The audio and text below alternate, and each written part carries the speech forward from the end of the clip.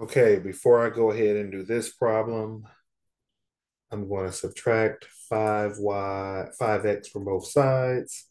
I'm left with negative 3y less than or equal to negative 5x minus 15. I'm going to divide by negative 3, all terms by negative 3.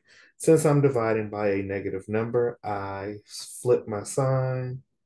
I'll end up with a positive 5 thirds x. And negative 15 divided by negative 3 is positive 5. My y-intercept is a positive 5. And I would, my rise over run, rise 5, run 3. Well, I don't have enough room to rise 5, so I'll work backwards. I'm going to fall 5, 1, 2, 3, 4, 5, and go to the left 3, 1, 2, 3, plot a point. Do it one more time. You only need two points to make it to um, connect to make a line, but I like more if I can. So fall five, one, two, three, four, five. To the left, three. Plot a point. Now I'm going to use, since I have uh, greater than or equal to is going to be a solid line. Connect these points with a solid line.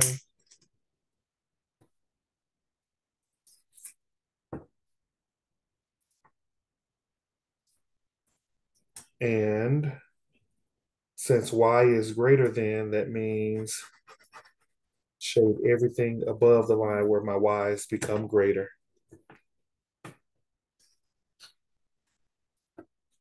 Let's take a look at 11. Y is greater than or equal to 4. So on the y-axis, choose val two values for y. I always choose the y-intercept at 4, and I choose another one where y is also equal to 4, is equal to 4 at when x is 4 and y is 4. Since it's greater than or equal to, that's a solid line. And since it says y is greater, my y values become greater above the line, but they are less than below the line. So I'm going to shade everything above the line.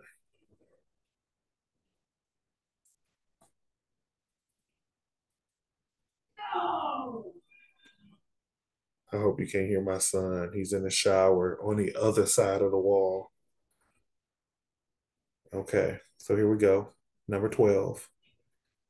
I need it in slope intercept form where I'm going to subtract x from both sides first. I'm left with negative y is greater than negative x plus 2.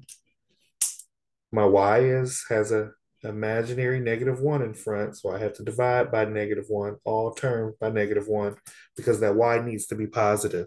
Sorry, you can't see. So a negative 1 divided by a negative 1 is a positive 1. So I get y. I divide it by a negative number. So my sign is going to shift. Negative 1 divided by negative 1 leaves me with a positive 1x. Negative, a positive 2 divided by a negative 1 is a negative 2. So now I can go ahead and graph this since I have y is less than x minus 2. So find minus 2 on the graph. That's my y-intercept. And then my slope is 1 over 1. So rise 1, run 1. Rise 1, run 1. And every time I do that, I'll hit a point on the graph. Now, since it's a less than, it's going to be a dotted line.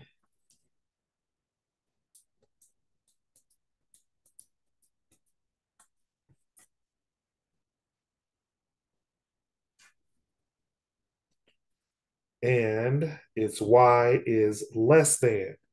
So my y values, here's my y-axis, my y values are less below the line and they're greater above the line. So I'm going to shade everything down here. Really hope this helps.